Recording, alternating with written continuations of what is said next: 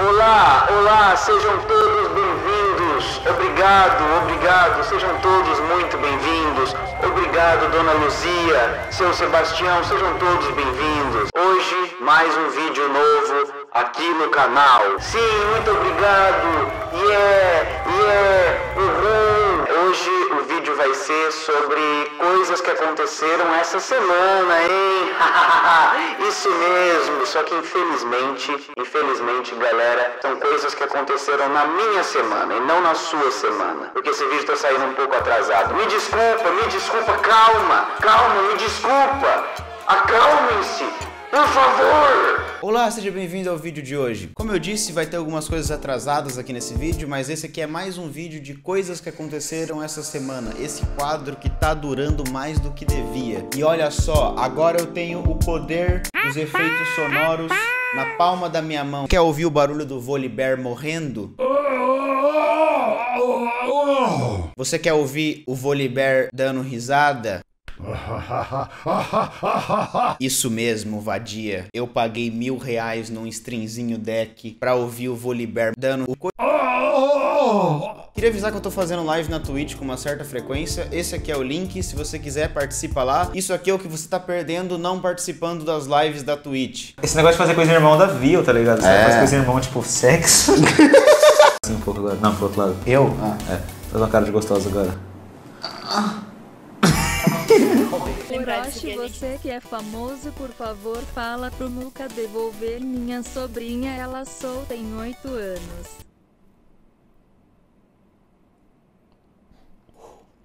Sejam bem-vindos à live de hoje.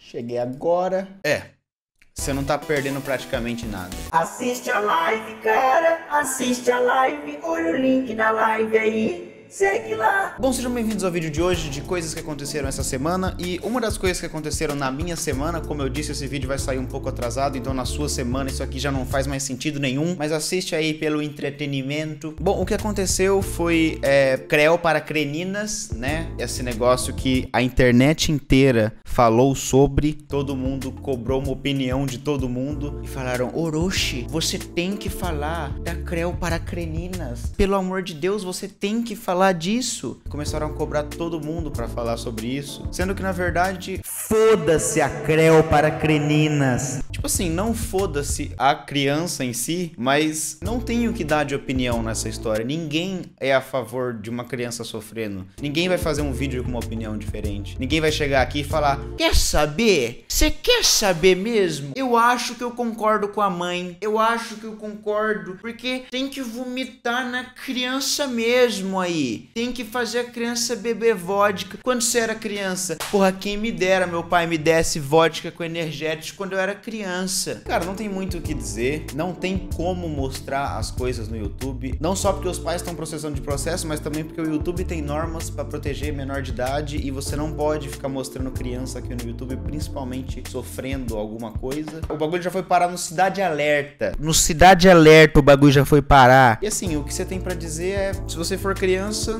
não sofra abuso. Se você for criança, não aceite doce de estranho. A não ser que seja um sonho de valsa. Hum, que gostosinho sonho de valsa. Hum. Não aceite doce de estranho, mesmo que seja um sonho de valsa. Eu sei, é difícil. Um sonho de valsa. Hum. Esse negócio de pai e mãe que monetiza filho na internet é um negócio estranho, é um negócio que acontece pra caralho. Ultimamente, um bebê, ele acaba de nascer e já tem uma página do Instagram pra ele verificada. Tem uma página verificada pra um bebê que nem tem um rosto ainda. Tu nem tirou a cara de joelho ainda do rosto e tem um perfil verificado. Então, a galera vai monetizar criança, a galera vai monetizar filho. E isso é um saco. A criança vive uma vida diferente por causa disso. Pode ser que ela seja uma criança milionária depois, graças aos seus pais terem monetizado ela. Mas no meio de uma criança que dá certo no Instagram, deve ter umas 10 mil outras que estão aí fazendo o desafio da vodka que é energético, tá fazendo o vídeo do sorvetinho, sorvetão de número 900, tá fazendo o vídeo do prato, pratinho, pratão, vida de rico, vida de pobre, número 100. E não tem muito o que falar sobre isso. Dois anos atrás, o Matheus Canella fez uma piada sobre isso. Eu sei que tá difícil pra todo mundo arrumar emprego, mas você poderia complementar a sua renda de diversas outras maneiras. Você pode pode revender Avon, você pode fazer salgadinho pra festa de aniversário, você pode, sei lá, ser figurante de novela bíblica da Record, mas não! Você explora o seu filho, sua puta! E o YouTube já teve muita, muita treta por causa de criança. A maioria das tretas com o YouTube é por causa de criança. Tanto que já tiveram épocas dos comentários de vídeos de criança ficarem poluídos por pedófilos que ficavam colocando timestamp das partes que as crianças apareciam mais vulneráveis no vídeo. E o YouTube agora ele bloqueia todos os comentários de qualquer vídeo infantil que seja. Se você abrir qualquer vídeo infantil no YouTube, os comentários vão estar bloqueados porque não pode ter comentário em vídeo infantil no YouTube mais. O que é uma grande perca, porque era sensacional você abrir um vídeo infantil e ler os comentários onde tinha Pedrinho Herobrine falando gostosa, passa o zap, haha, adoro comer cocô, swat. E o Cidade Alerta fez uma matéria sobre a Trel para Tretrinas e... Ah, cara, olha, olha os níveis do bagulho. Tem uma cena em específico que eu gostei bastante, onde o Luiz Bassi, o apresentador do Cidade Alerta, sente o próprio ego dele atacado e começa a se autoafirmar dizendo que ele tem muita view no story do Instagram dele. Bom, nesse programa ele tava lendo uma carta que o pai da Trel mandou para pro programa do Cidade Alerta. E nessa carta o pai fala que pode ser um ato de inveja o que tá acontecendo. E o Luiz Bassi ele esquece completamente que ele tá falando sobre uma criança ter sofrido abuso. E ele simplesmente pensa: hum, ele me chamou de invejoso. Eu vou lacrar pra cima desse otário. Eu vou falar quantas views eu pego no meu Instagram. Foda-se a criança. Deixa a criança beber vodka. Eu tenho que me autoafirmar e agora. Que tem por base a própria visão de mundo, pelo que tentam impor o seu discurso ao outro, muitas das vezes baseado em inveja, ódio e preconceito. Quem tá com inveja desse canalzinho seu aí, filho? Você tá dizendo que eu tenho inveja? Isso aqui é para mim? Eu tenho inveja do seu canal? Você tem 1 milhão e 300 é, é, seguidores no Instagram. Isso é o que eu tenho de views nos stories. Ah! O que você tem de seguidor no Instagram, eu tenho de views nos stories. Você acha que eu vou ter inveja? Não dá, velho. O que você tem de seguidor, eu tenho de views nos stories. Por que, que ele precisava fazer essa parte? Tudo bem que é ao vivo o programa, mas por que, que ele precisava demonstrar esse lado frágil, onde ele tem que falar, eu tenho view nos stories? Ai, cara, que doloroso. E a parte cringezinha da história não para por aí. Agora tá tendo fã-clube do Luiz Bassi e Stan Luiz Bassi. Oh, Bassi Stan! Yeah! Se eu sento nesse homem, o guindaste que lute. Sigam ele lá, Bacinetes. Bacinetes, sigam ele. Estando o ícone Luiz Batse. Fã clube Luiz Batse. Oh meu Deus, o Luiz Batse é tão fofinho. Minha Nossa Senhora. Bom, o caso da Creu para equinos já tá na mão da justiça. Não tem mais o que um baitolinha paranaense falar num vídeo. Então vamos para a próxima coisa que aconteceu essa semana. A entrevista do Felipe Neto no Roda Viva. Lembrando que isso aconteceu na minha semana, pode ser que na sua semana aí não esteja acontecendo isso, mas na minha foi o que aconteceu. Bom, Roda Viva é um programa de entrevista que existe na TV Cultura desde 1986. E essa semana o Felipe Neto foi o convidado do programa. E eu achei uma entrevista meio sem finalidade, meio sem propósito, porque não tiveram perguntas muito novas, a gente não ficou sabendo de muitas opiniões novas do Felipe Neto, ele só falou a mesma coisa de sempre. Bom, pareceu uma entrevista bem parcial e mamadora de bola, assim como outras que já tiveram no Roda Viva, e o Felipe Neto acabou virando manchete de algumas notícias bem mamadoras de bola também. Um país que tem Felipe Neto ainda não está totalmente perdido. Pessoal, pessoal, acalme-se, acalme-se. O país não está totalmente perdido. Acalmem-se. Nós temos o Felipe Neto. Sim, sim, nós temos ele. Acalmem-se. Ele foi lá, falou alguns bagulho óbvio que vai irritar alguns tiozão de zap e foda-se. Mas eu separei aqui os melhores momentos dessa entrevista e fogem de qualquer normalidade que a gente está acostumado na realidade que a gente vive e é simplesmente sensacional. Então acompanhe aí os melhores momentos agora mesmo.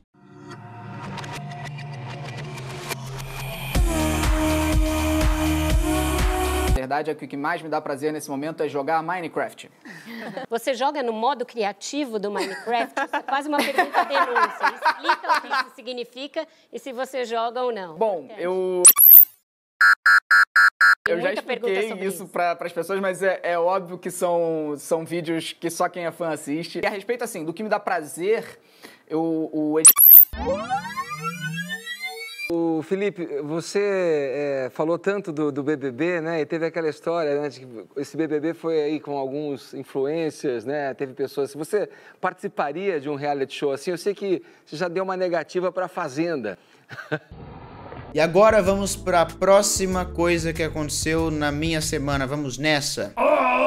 Bom, o Coisa Nossa soltou uma nota lá no canal deles, na comunidade deles, onde eles dizem: Oi, gente, no canal Coisa Nossa trabalhamos com diversos influenciadores que se revezam na criação e publicação dos conteúdos. Ou seja, eles não têm contrato com nenhum criador do canal, não posso dizer nenhum, mas pelo menos comigo eles não tinham um contrato fixo. Então, para quem acha que eu perdi o patrocínio do Guaraná, na verdade não. Não era um contrato fixo, era mais uma coisa onde eles revezavam quem participava do vídeo da semana do canal. Compreendemos os pedidos de volta ao Rock, mas temos opiniões contrárias ao posicionamento dele nas redes sociais e infelizmente não vemos mais sinergia na parceria. É, eles dizem posicionamento dele nas redes sociais como se piada fosse algum tipo de posicionamento, mas eu entendo que essa aqui não é uma nota feita pelo próprio Coisa Nossa, meio que eles devem ter ficado de mãos atadas diante da, da marca, então eles têm que dizer isso, afinal de contas é uma marca e eu aceito totalmente eu ser deixado de fora da marca por conta do meu posicionamento em redes sociais, que de novo eu falo, piada não é posicionamento, eu não tô me defendendo necessariamente dessa nota aqui, mas de qualquer pessoa que pode achar que uma piada é um posicionamento. E basicamente é isso, dessa vez eles deixaram esclarecido e era só isso que eu queria que acontecesse, para falar bem a verdade. O Orochi fez parte da história desse canal e desejamos sorte em seus novos projetos. Isso aqui parece um término de relacionamento de Instagram. Abraços, time Coisa Nossa. Mua, meus beijinhos. Nós temos opiniões contrárias ao posicionamento dele.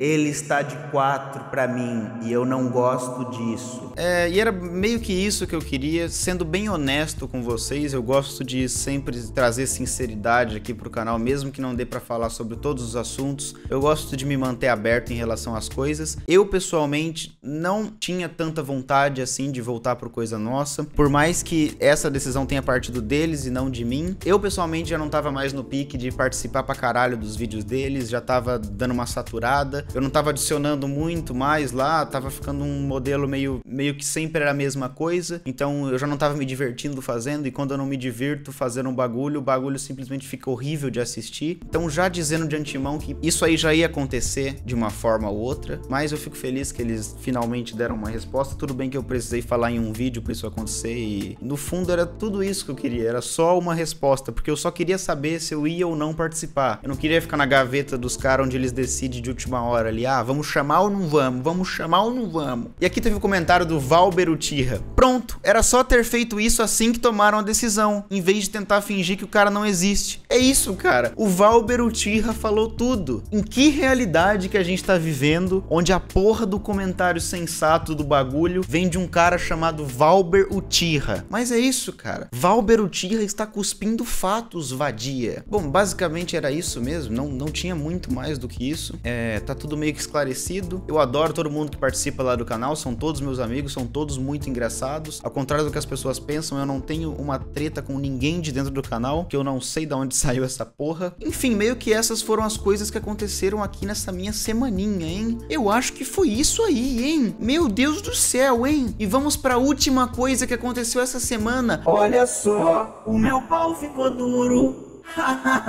Bom, o vídeo de hoje foi esse. Espero que você tenha gostado, espero que você tenha se divertido. Se você deu um. Deixa seu like aí no vídeo. Acho que é a primeira vez que eu peço like em muito tempo. Deixa seu like aí no vídeo, velho. Muito obrigado pelos 3 milhões de inscritos. Eu não tenho muita empolgação assim com o Marcos no canal. o Marcos, quando o Marcos chega no canal, eu não me empolgo com ele. Mas quando eu alcanço algum marco assim de inscrição, meio que não muda muita coisa na minha vida, mas é sempre legal porque é sempre um motivo para comemorar alguma coisa. Então, muito obrigado pelos 3 milhões de inscritos aqui no canal. E foi outra coisa que aconteceu essa semana também, além do, do, do meu pau ter ficado duro, velho. No mais é isso, até um próximo vídeo. E não aceite doce de estranhos. A não ser que seja um estranho bem gostosinho. Você é tão